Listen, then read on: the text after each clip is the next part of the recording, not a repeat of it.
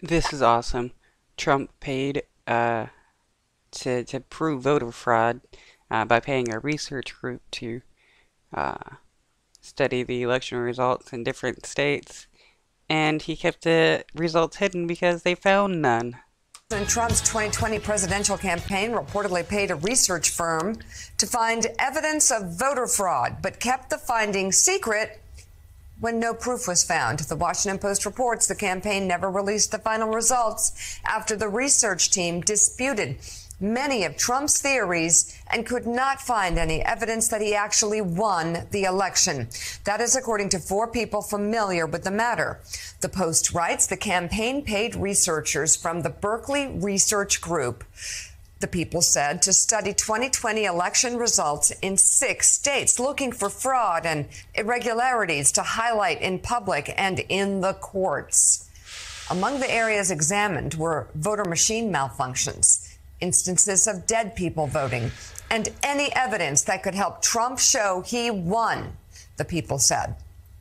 The research was done in the final weeks of 2020 before Trump supporters stormed the Capitol on January 6th. Former President Trump continues to push the big lie today, despite the commissioned research saying otherwise. In a statement, a Berkeley Research Group spokesperson said, quote, our experts provide independent and objective factual analysis. And as a matter of firm policy, we do not comment on client engagements or on privileged and confidential matters. NBC News also reached out to the Trump campaign for comment. A spokesman responded with a statement attacking Joe Biden and again suggesting Trump won the election. Since the election that he lost, multiple courts and swing states have confirmed former President Trump did not win.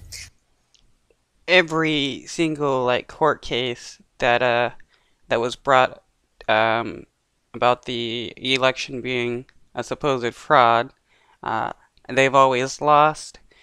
And during various um, subpoena deposition hearings about uh, the uh, about people who believe the uh, the election was a fraud, had said that they never believed it. People uh, like Tucker Carlson and various other people on Fox who are being sued by Dominion over the election lies, because that's still going on. Um, a lot of those people said they never believed it was a lie. Um, all they wanted to do was push that it was a lie because it got them ratings and it riled up the base. Um, and most of the people that told Trump that the election was a lie He didn't believe it, but they knew that if they told him it was a lie, he would believe it, and they could potentially try to get the election overturned in some way. Let's bring in former U.S. Attorney Joyce Vance. She's an MSNBC legal analyst. And Joyce, what do you think is important about this news as it pertains to the big lie and legal efforts to prove that Donald Trump was trying to overturn the election and knew he lost? It's important evidence for the special counsel to have, Mika, because when you're talking, and, and, we've talked for months now about the fact that prosecutors will have to prove that the former president knew he had lost, but nonetheless carried out mm-hmm. the conduct connected with January 6th and his effort to prevent certification of the vote. So the way prosecutors do that isn't just with one piece of evidence. What you really need is layer upon layer of circumstantial evidence. You don't have a confession from Trump that he knew. So you uh, achieve your proof as a prosecutor by showing through multiple people and multiple events that there's strong indication that he knew. At this point, where you have an outside independent firm that's highly regarded confirming that there was no fraud involved in the election, if prosecutors can prove that that was communicated to Trump, it's really the nail in the coffin.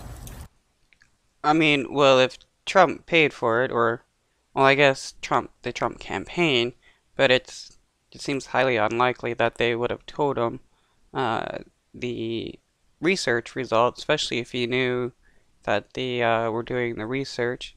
Unless, I guess, they, they may have lied to him. But, yeah, this is uh, pretty much the, like, nail in the coffin. Trump knew that there was uh, no election fraud, but he kept with, uh, um, convincing people that there was, and he's still trying to convince people that there is, and that's why he uh, told people to go fight on January 6th so that he could overturn the results and make himself a dictator.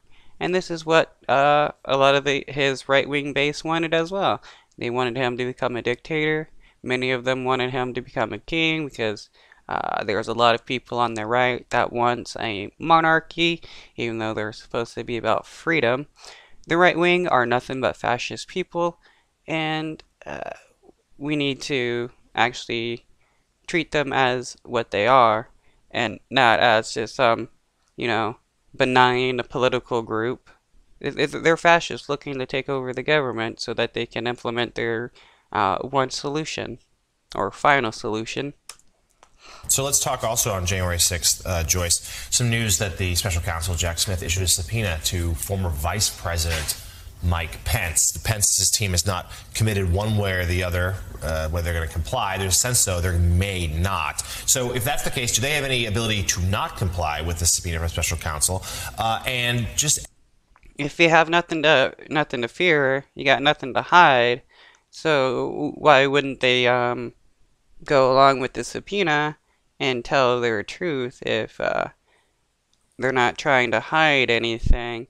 You know, isn't that what right wingers say when, you know, talking about justice? If you got nothing to fear, you got nothing to hide. So they, so you should let the cops and you know the justice system do whatever they need to do. Uh, speak to us as to what an escalation in some ways this is. That if the, this special counsel clearly is a sign they're not just focused on Mar-a-Lago documents, they're focused on January 6th and the most innermost members of Trump's circle.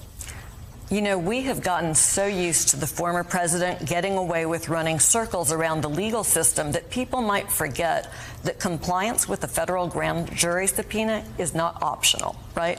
Mike Pence will show up, he will testify. Trump's attorneys very likely will try to litigate executive privilege claims they won't work because executive privilege is meant to protect communications a president has as part of his governance of the country. It's not meant to protect crimes. It's not meant to protect presidents who are trying to hold on to power after they've lost an election. And so. Yeah, executive privilege doesn't work for former presidents.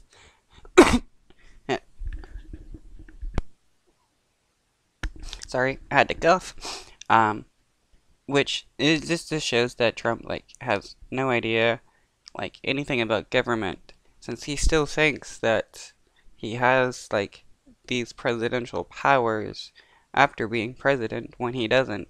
I mean pretty much the only thing you get after being president is you got a secret service detail that follows you and your family around. And other than that, you basically don't get any presidential power. I mean, not not like a secret service is a presidential power. That's more of a of a benefit. I mean, you you know, you're privy to a bunch of information, and uh, you know the government doesn't want other people to you know try to kill you or whatever, and get that information. Pence will testify. And as you point out, it really is an escalation in the special counsel's tactics. It suggests that he is at the point where he needs to talk to the essential witness. Mike Pence, the only person other than Trump who knows exactly what happened on both sides of that phone call on the morning of hmm. January 6th. Coming up, we'll talk with the Oscar nominated